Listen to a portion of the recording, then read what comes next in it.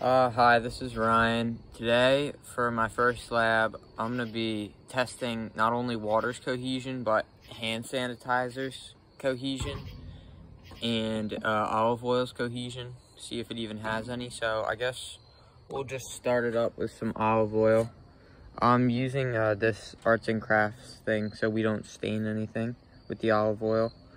Um, so I'll pour the first pile right here. Wow, that's a lot. Um, and the next one right here, I'll try and give it a good chance to connect.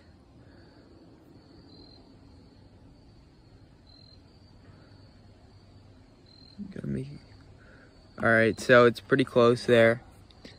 Uh, hopefully I'm gonna add a little more to give that extra push.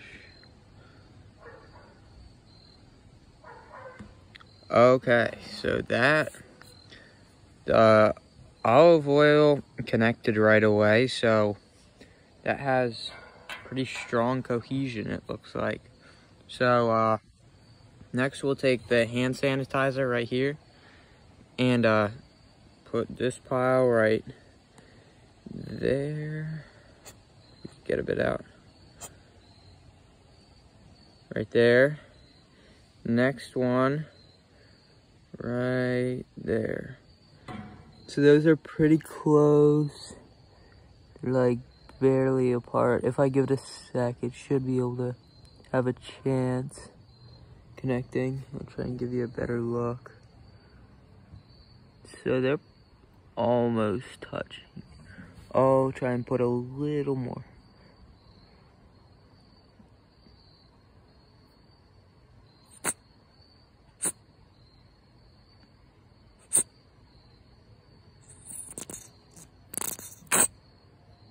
That didn't do too much. Not very good aim. Okay, and I just dumped it on top. So that actually does kind of look like. You can definitely see where the two piles were, but they kind of merged. So I'm not really sure what to call that. Let me get a better look. Um,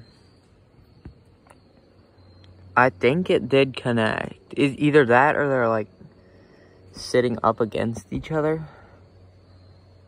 Uh, jeez, not focusing.